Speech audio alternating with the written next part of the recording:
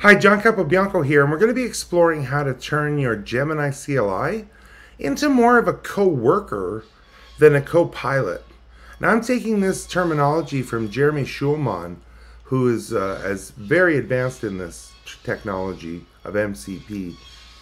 And the idea is a co-pilot helps us as an individual, whereas a co-worker will help us collectively as a team. So how can we achieve this? Well, we can use the Slack MCP, which has bidirectional capabilities with the Gemini CLI. So we're going to turn the Gemini CLI into a co-worker.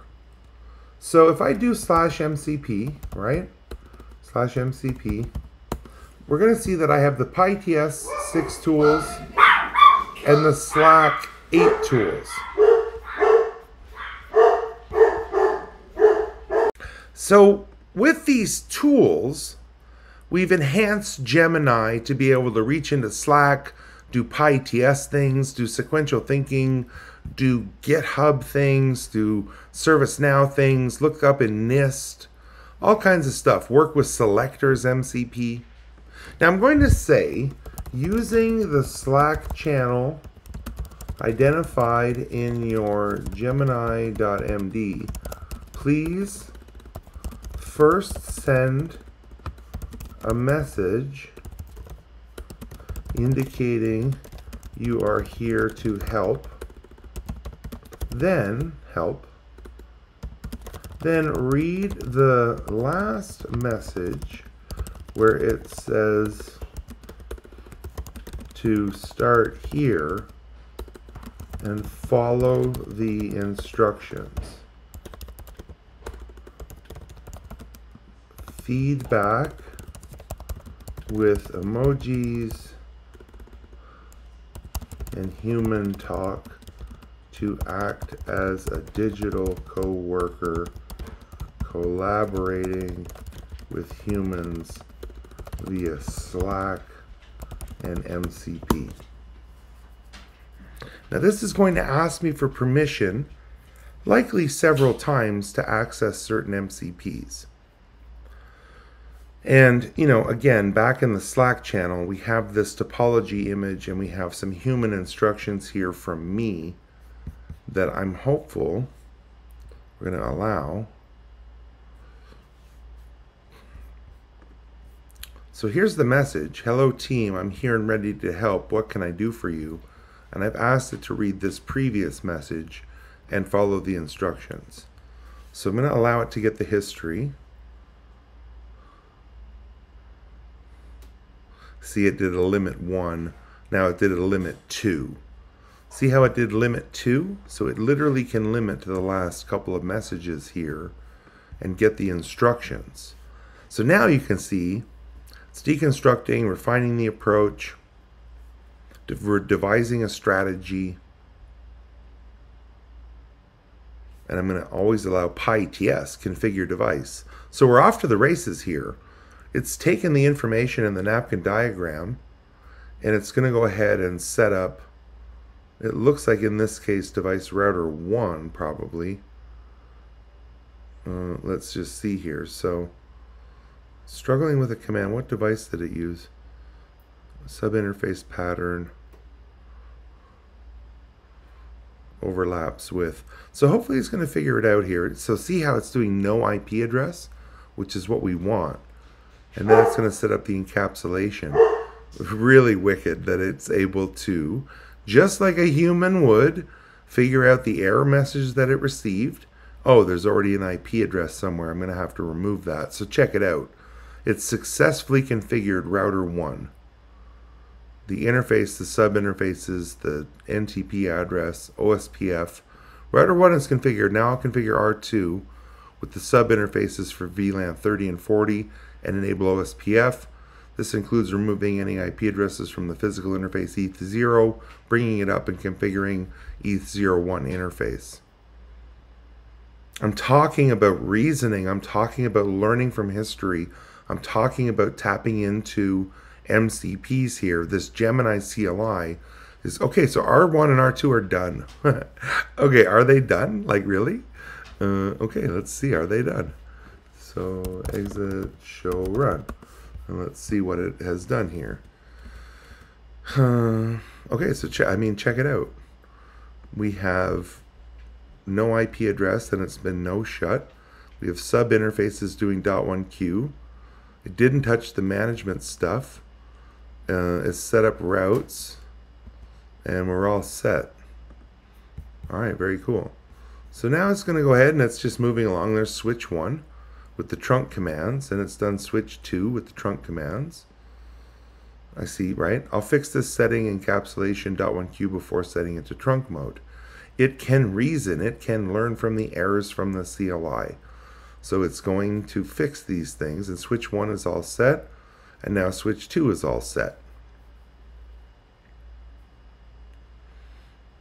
I would just wait. We're not. We're, it's still just setting up the network. So, is that not cool though? Right. So, okay. So now it wants to ping. It's always allow.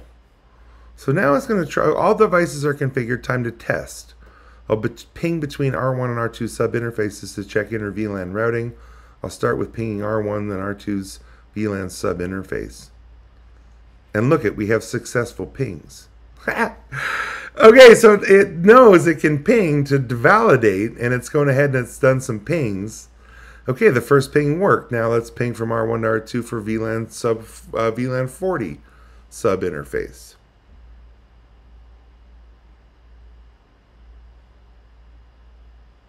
And there's the successful ping. So we're pinging from R1 over to R2 here, uh, right? From the VLAN, see the VLAN table is not displayed, but we are pinging from R1 all the way over to R2 here on the sub interfaces. So we have cross network communication. And now it's trying the other pings from R2 to R1 in the reverse direction.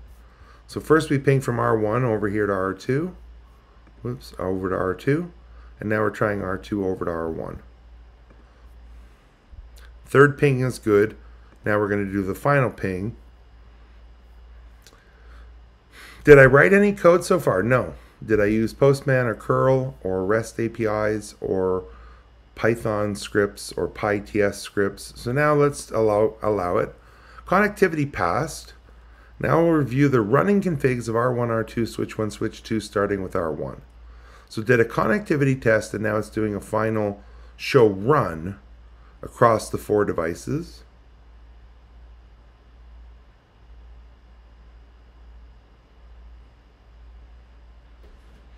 Because my pyATS has a show run tool, not just a config tool or a show show command tool.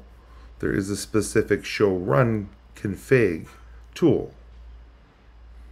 So it's grabbing all four devices running configs after it's changed a bunch of things and tested a bunch of things. So now it's just moving on to the switches this is really exciting. And then hopefully we're going to get something back inside of Slack as a final summary. So focusing on config, remaining configs. So I got the configs. Now it's getting switched to. So one more device left to do.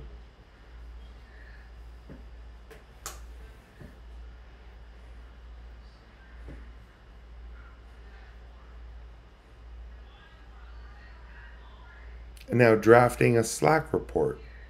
Configured and configure the devices, tested connectivity, review the configs. I'll now report back to Slack a summary.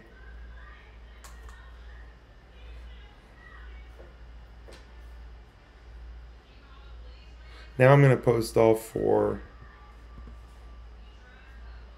Oh, it can reply to a thread even. What?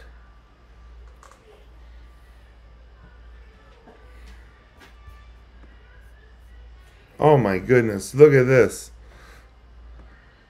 So here's I've here's I've successfully done with the emojis the whole way down. And if we look at the thread, look at this.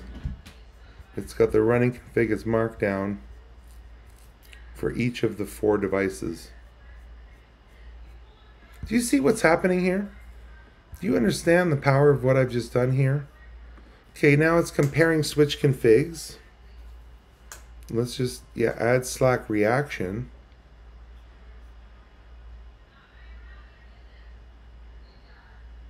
I finished all messages, configured the devices.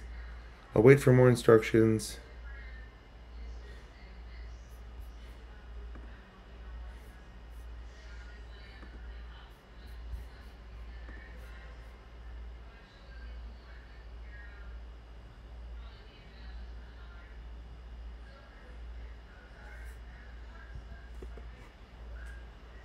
So it wants to just keep going here. I think maybe when it said here, I'll wait for more instructions. I should have typed a response before it continued. Um, so I'm just going to let it do what it thinks it needs to do here. It's just running some new commands. See, look at show IP OSPF neighbor. So we can see OSPF neighbors are up on R1. I'm going to check neighbors on R2. And in here, let me do this. Let me do a smiley face. This all seems to be working. Thank you. Okay, so again, a digital coworker, Gemini CLI can listen, so to speak, on demand at request to Slack channel conversations. It understands emojis, it understands context, it can take in files and visuals. It's multimodal, so to speak. So I can work with my team in a chat, you know, in Slack, and we can all have our Geminis and participate in this conversation and give their analysis, do the config, do the hard work. As you've seen, right? Here's a whiteboard that our team came up with. Here's some instructions, some context. Go ahead and do the thing. We read those instructions from Slack. We go do the thing with pyATS on four devices. We test it. We validate it we get the running configs at the end of it and give all that context back through Slack with emojis and the new configs. We could go a step further and push this all into GitHub, GitLab, ServiceNow. Uh, we could derive a source of truth from all this config and put it into Netbox or Nautobot. I am telling you, you had better start using the Gemini CLI and Model Context Protocol because this is really incredible stuff. This is moving from a co-pilot to a co-worker. And I want to thank Jeremy Schulman again, as usual, like he did 10 years ago with network automation, for leading the charge in a true visionary way. And I'd like to think that I helped him achieve some of what he's done, but his terminology and the way he's looked at it and diced it up really makes sense to me, and I hope it resonates with you. So please reach out and connect to me and uh, we'll see you real soon.